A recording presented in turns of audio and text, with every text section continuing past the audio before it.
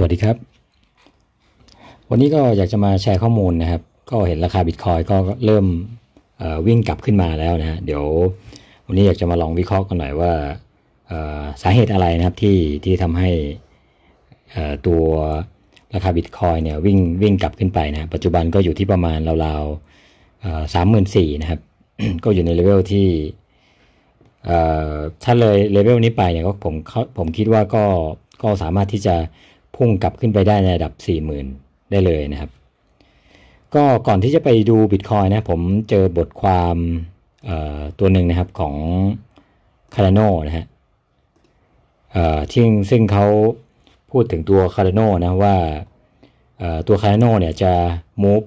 จะมีโอกาสนะที่ราคาเนี่ยจะ move ได้ประมาณ 60%นะจากราคาปัจจุบันจากราคาปัจจุบันนะครับ ถ้าถ้าเงื่อนไขเนี่ย ถ้าเงื่อนไขเป็นเป็นเป็นไปตามนี้นะก็คือว่าเเขามองว่าตอนเนี้ยถ้าดูตามกราฟ ผมลองวาดกราฟตามที่เขาวิเคราะห์นะครับ คือเขามองว่าตอนเนี้ยตัว support มาเนี่ยเขาวาดเส้น trend line มาตามนี้นะฮะแล้วก็ support มันตอนนี้อยู่ที่ประมาณ 1 เหรียญนนะครับ เพราะฉะนั้นเนี่ยเขาก็เลยวัดตรงนี้นะฮะแล้วก็มองว่าถ้าเกิดมันทะลุตรงนี้ไปเนี่ยที่เลเวลประมาณ 1.3 เนี่ย Cardano เนี่ยสามารถที่จะไปถึงที่ระดับ 2 เหรียญนนะฮะ ถ้าถ้าทะลุตรงนี้ไปนะก็จะไปสามารถที่จะทะลุไปได้ที่ 2 เหรียญนนะครับ แต่ว่าถ้าต่ำลงมากว่า support นะที่ประมาณ 1 เหรียญเนี่ยราคา Cardano เนี่ยก็จะมีโอกาสที่จะย่อไปในระดับที่ประมาณ 0.3 0.35 เหรียญได้เลยนะครับนะแต่ผมดูจาก เทรนแล้วเนี่ยคิดว่าไม่น่าจะย่อไปถึง ไม่น่าจะต่ำไปกว่า 1 เหรียญนะสำหรับ Cardano เพราะว่าเราเห็นว่าในอดีตที่ผ่านมาเนี่ยที่ระดับ 1 เหรียญเนี่ยมีมีมี strong มี support ที่ค่อนข้าง strong เลยทีเดียว ที่ค่อนข้างแข็งแกร่งเลยทีเดียวนะพอมาแตะ 1 เหรียญเนี่ยจะเด้งกลับขึ้นไปตลอดนะครับเพราะนั้นโอกาสที่จะต่ำกว่า 1 เหรียญเนี่ยผมคิดว่าน่าจะน่าจะยากนะสำหรับ Cardano นะครับแต่ว่าถ้าเกิดมันสามารถทะลุที่เลเวล 1.3 ขึ้นไปเนี่ยก็จะเขาก็วิเคราะห์ว่าจะทะลุไปได้ที่สองเหรียญได้นะครับอันนี้ก็เป็นบทความของ Cardano นะที่อยากจะมาแชร์กันนะที่มาลองลองมาดูตัวบิตคอยกันบ้างบิตคอยตอนนี้ราคาวิ่งกลับค่อนข้างแนวโน้มค่อนข้างดีเลยทีเดียวนะครับ ถ้าเราจะดูกราฟตรงนี้นะโอ้แป๊บนึงนะครับ ถ้าอันนี้ผมลองให้ดูที่เป็น Daily Chart นะครับ เส้นมีมีข้อสังเกตอยู่อย่างหนึ่งนะก็คือ เราจะเห็นว่าราคาบิตคอยปัจจุบันเนี่ยมันมามันจะมาแตะที่เกือบจะแตะเส้นอ่า EMA 50นะเส้นสีน้ำเงินตรงนี้นะฮะเกือบจะแตะตรงนี้เลยทีเดียวนะครับ ซึ่งราคาณตอนที่ผมทำคลิปอยู่เนี่ยก็อยู่ที่ประมาณ 30,000เอ่อ34,376 นะครับ ก็ ตัวไส้เทียนเนี่ยก็ค่อนข้างจะเกือบจะแตะเส้น EMA ห้าสิบเลยทีเดียวนะครับ ซึ่งเราจะเห็นว่าในอดีตที่ผ่านมาเนี่ยถ้าแท่งเทียนใน daily time frame เนี่ยมันเกินมันทะลุมันสามารถทะลุเส้น EMA ห้าสิบได้เนี่ยเราจะสังเกตว่ามันจะเป็นขาขึ้นเลยนะฮะสังเกตจะสังเกตว่าในอดีตที่ผ่านมา ถ้ามันสามารถที่จะทะลุเส้นอิมเบห้าสิบตรงนี้ไปได้นะครับ มันจะขึ้นไปเลยนะ แต่ว่าถ้ามันต่ำกว่าเนี่ยมันก็จะเป็นขาลง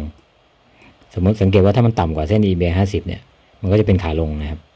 ตรงนี้ถ้ามันทะลุไปได้มันก็จะเป็นขาขึ้น อันนี้เป็นขาลงนะครับ ต่ำกว่า EMA 50 เป็นขาลงนะถ้าทะลุสามารถทะลุ EMA 50 ขึ้นไปได้ ก็จะเป็นขาขึ้นนะครับ อันนี้อ้างอิงจากกราฟในอดีตที่ที่ผ่านมานะ ซึ่งถ้าเราจะดูปัจจุบันเนี่ย มันอยู่ในจุด มันอยู่ในจุดที่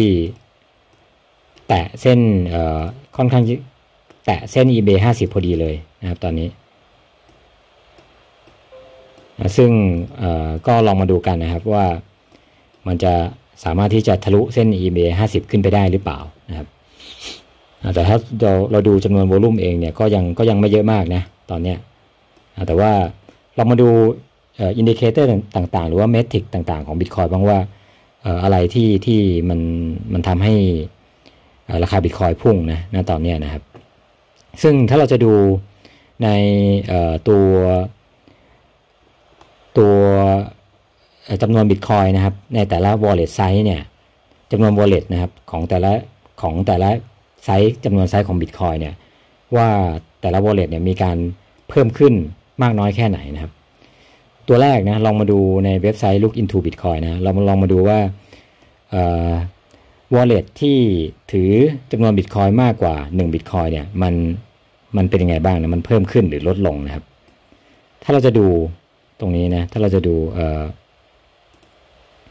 ผมจะลองซูมตรงนี้หน่อย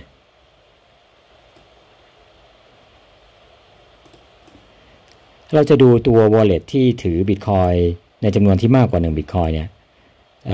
จริง ๆ ตั้งแต่ช่วง จะดูถ้าดูตั้งแต่ช่วงต้นปีมต้นมาเนี่ย มันก็มีลดลงมานะครับ แล้วก็มาลดลงมาช่วงเดือนเดือนมิถุนานะก็ก็ลดลงมา แล้วก็สังเกตว่าตอนนี้มันเพิ่มขึ้นนะครับจำนวน wallet ที่ถือ Bitcoin มากกว่า1 Bitcoin เนี่ยมันเพิ่มขึ้นจะเห็นว่ากราฟมันค่อนข้างจะจะชันขึ้นมานิดหนึ่งนะฮะตอนนี้ก็ถือว่าคนที่มีบิตคอย จำนวน wallet ที่มีบิตคอยมากกว่าหนึ่งบิตคอยเนี่ยก็ก็มีมากขึ้นนะครับ ตรงนี้ เรามาดูตัว wallet นะจำนวนจำนวน wallet ที่มีบิตคอยมากกว่า 10บิตคอยนะครับจะเห็นว่าถ้าดูภาพรวมจะเห็นว่ามันลดลงมาช่วงต้นปีนะครับ มันลดลงมาเรื่อยๆนะแล้วก็มีเพิ่มกลับขึ้นมานะครับ ช่วงเดือนเนี่ยช่วงประมาณ2อสวันที่ผ่านมาเนี่ยก็มี จำนวน wallet ที่ถือบิตคอย10บิตคอยมากกว่า10บิตคอยขึ้นไปเนี่ยก็มากขึ้นนะครับ ถ้าเราจะดูซูมเข้าไปนะ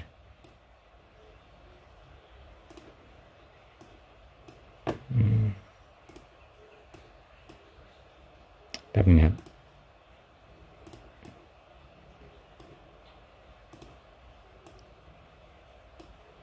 โอเค เราจะดูมันก็ลดลงมานะครับ ตั้งแต่ช่วงต้นปีลดลงมาลดลงมา แล้วก็มาเพิ่มขึ้นนะในช่วงสองสามวันที่ผ่านมานะครับ แล้วก็ถ้าเราจะดูใกล้เข้าไปอีกเนี่ย มันเพิ่มขึ้นมานะ แล้วก็มีย่อลงมาบ้างนะ แต่ก็ยังอยู่ในเลเวลที่ไม่อยู่ในจุดที่ต่ำที่สุดนะครับ ต่ำที่สุดอยู่ตรงนี้นะในช่วงที่ราคาบิตคอยมันย่อลงมาเยอะๆอันนี้เป็น wallet จำนวน wallet ที่ถือบิตคอยมากกว่า 10บิตคอยนะครับ ส่วนจำนวน wallet ที่ถือบิตคอย มากกว่าร้อยบิตคอยนะฮะ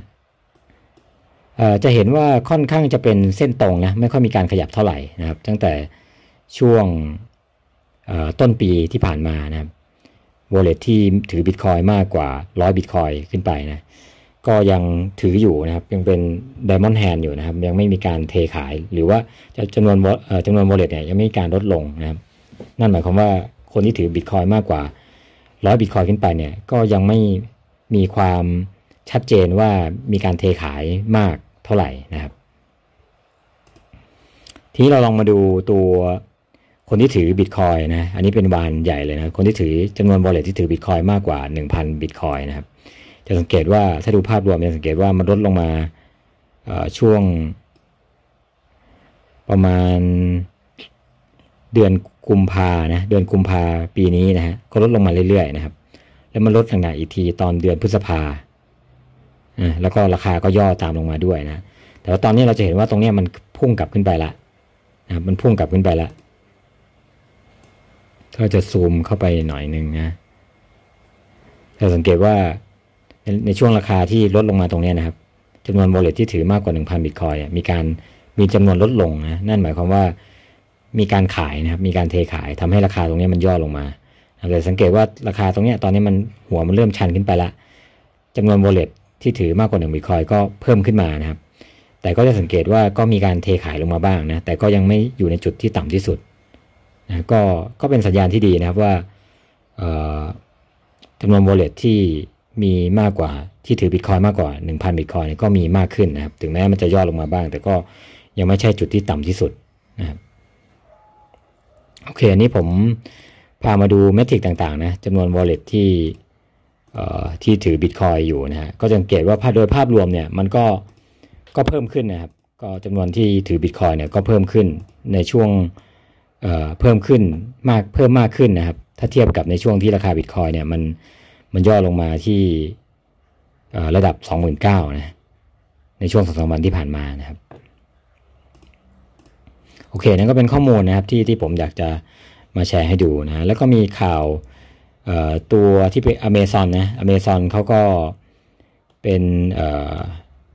บริษัทที่บริษัทใหญ่นะในอเมริกานะครับที่ดำเนินกิจการเกี่ยวกับขายของออนไลน์นะครับเขาก็เหมือนว่ากำลังจะจ้างทีมนะที่มีความรู้ในเรื่องของdigital currency เนี่ยเพื่อมาทำในเรื่องของ cryptocurrency strategy และก็ product นะก็มาวางกลยุทธ์มาพัฒนาเรื่องของกลยุทธ์ เรื่องของ cryptocurrency payment นะครับ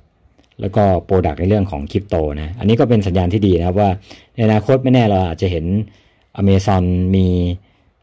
สามารถรับนะรับคริปโตในการที่จะจ่ายเวลาซื้อของผ่านเว็บไซต์ Amazon นะหรือแม้แต่เราอาจจะเห็นแพลตฟอร์ม Exchange แพลตฟอร์มของ Amazon นะที่ สามารถที่จะมี Product คริปโตอยู่ในแพลตฟอร์มนั้นนะครับ แม้แต่โทเค็นของ Amazon เองนะเราเราก็อาจจะเห็นก็ได้นะครับในอนาคต ก็ก็เป็นไปได้นะ ก็คอยดูกันต่อไป แต่ว่าก็เป็นข่าวดีนะครับ ที่บริษัทใหญ่ๆ อย่าง Amazon เนี่ยเข้ามาในวงการคริปโตนะครับนี่ก็เป็นข่าวที่ที่ผมอยากจะแชร์ให้ดูนะส่วนในสองสวันที่ผ่านมานะก็มีตัว งานที่เรียกว่า The b w o r นะครับ ตัวนี้ก็ผมได้ไปฟังทางอีลอนมัสนะครับ แล้วก็แจ็คดอร์ซี่แล้วก็แคทที่วูดพูดอยู่เหมือนกันนะฮะซึ่งก็มีบางประเด็นที่น่าสนใจนะครับ ซึ่งโดยภาพรวมแล้วเนี่ยผมมองว่าการที่มีกิจกรรมนี้เนี่ยมีงานนี้ขึ้นเนี่ยเป็นเป็นบวกนะเป็นสัญญาณที่บวกกับบิตคอยนะฮะซึ่งผมเชื่อว่าหลังจากงานเนี่ยผมเชื่อว่ามาร์คอีลอนมัสก์เนี่ย เขาผมคิดเชื่อว่าเขาน่าจะกลับเข้าไปคุยกับบอร์ดบริหารของเทสลานะเพื่อที่จะให้เทสลาเนี่ยยอมรับที่จะรับบิตคอยนะครับมาซื้อรถเทสลาอีกทีหนึ่งนะจากก่อนซึ่งเนื่องจากก่อนหน้านี้เขาเขามี concern ในเรื่องของอสิ่งแวดล้อมนะการ miner สิ่งแวดล้อม การ miner Bitcoin นะแล้วมีอาจจะมีผลกระทบกับสิ่งแวดล้อมที่การที่ใช้พลังงานไม่สะอาดนะครับ แต่ว่าในงานเนี้ยทาง Jack Dorsey แล้วก็ Cathie Wood เนี่ยก็พูดถึงว่าพลังงานที่มาใช้ขุดบิตคอยเนี่ยมันมีเป็นเป็นเป็นพลังงานที่สะอาดนะมากกว่า 50%นะครับก็มีมีข้อมูลมาโชว์ให้กับ Elon Musk ดูนะครับทาง Elon Musk เองเขาก็มี challenge Jack Dorsey ไปเหมือนกันนะว่าอยากให้ Jack Dorsey เนี่ยอยากให้ทวิสเตอร์เนี่ยของ Jack Dorsey เนี่ยรับรับรับจ่ายเป็นบิตคอยนะรับจ่ายโฆษณาเนี่ย เป็นบิตคอยนะซึ่ง Jack Dorsey เนี่ยก็ยังไม่ตอบ yes หรือ no นะครับว่าว่าทวิสเตอร์เนี่ยจะรับบิตคอยนะในการที่จะเป็น payment ให้กับการจ่ายโฆษณาให้กับทวิสเตอร์นะครับเขาก็ยังไม่ได้ตอบปฏิเสธหรือว่าตอบตอบ yes นะครับก็ก็ต้องดูกันต่อไป แต่ว่าทาง Jack Dorsey เองเนี่ยเขามีแผนที่จะ develop แพลตฟอร์มนะแพลตฟอร์มที่จะทำเอาใช้ develop แพลตฟอร์ม top up บน แพลตฟอร์มของ Bitcoin นะเพื่อที่จะมา develop เรื่องของ payment นะครับซึ่งก็เป็นผลบวกนะผมว่างานนี้เองเนี่ยก็ก็เป็นงานที่ส่งผลต่อราคาบิตคอยด้วยเหมือนกันนะครับ ส่วนอีกข่าวหนึ่งนะก็ผมเห็นข่าว Uniswap นะซึ่งเป็น Decentralized Exchange เนี่ยก็ได้ข่าวว่าเขาจะหยุดดำเนินการเรื่องของการให้บริการ ซื้อขายโทเค็นโทเค็นที่เป็นเหมือนลักษณะสต็อกโทเค็นหรือว่าโทเค็นหุ้นนะครับ ก็ก่อนหน้านี้ก็มีตัวไบแนนนะก็เพิ่งจะประกาศว่าช่วงเดือนตุลานะประมาณ 14 ตุลาเป็นต้นไปเนี่ยเขาจะเขาจะไม่มีสต็อกโทเค็นแล้วนะ พวกสต็อกโทเค็นที่เป็นอย่าง Tesla MicroStrategy Microsoft อะไรพวกเนี้ยหรือว่า Apple พวกเนี้ยนะ ตัว Centralized Exchange อย่าง Binance ก็จะประกาศหยุดเหมือนกันนะ Uniswap ก็ออกมาประกาศเหมือนกันว่าจะหยุดนะเรื่องของให้บริการในเรื่องของ stock token นะซึ่งผมเชื่อว่าจริงๆน่าจะยากนะที่จะที่ที่จะเอาตัวสต็อกเนี่ยมาทำมาโทเค็นมา tokenize นะฮะที่ให้เป็นโทเค็นนะเพราะว่าพวก Exchange ที่เป็น Exchange หุ้นเนี่ยเขาคงจะไม่ยอมนะเพราะว่า Exchange หุ้นเนี่ยกว่าที่เขาจะ นำหุ้นเข้ามาใน Exchange ของเขาได้ เขาต้องผ่านกฎหมายหลายขั้นตอนมากนะครับ ซึ่งเขาคงไม่ยอมถ้าจะเห็นโทเค็นของหุ้นเนี่ยมาอยู่ในแพลตฟอร์มที่เป็นคริปโตนะครับ มันมันดูมันดูทำง่ายและง่ายเกินไปนะ ผมคิดว่าคงคงยากที่ที่ Exchange เหล่านั้นจะยอมนะครับ แล้วก็คงต้องผ่านกฎหมายที่ที่ที่มากมายเหมือนเหมือน Exchange หุ้น Exchange หุ้นนะกว่าที่จะสามารถทำได้นะครับในอนาคตอาจจะทำได้แต่ว่าปัจจุบันนี้ผมคิดว่าคงคงยากอยู่นะคงต้องต้องต้องคุยกันอีกนานนะครับ ที่จะเอาหุ้นมา tokenize แล้วมาเทรดในแพลตฟอร์มของคริปโตนะครับโอเคนั่นก็เป็นภาพรวมต่างๆนะที่ที่ผมอยากจะมาแชร์วันนี้สำหรับราคาบิตคอยก็ก็เป็นเทรนด์ที่ดีนะครับ ตอนนี้ผมเชื่อว่าถ้าทะลุเส้น EMA 50 ซึ่งอยู่ประมาณราวๆ สามหมื่นสี่ปลายสามหมื่นห้าเนี่ย ผมคิดว่า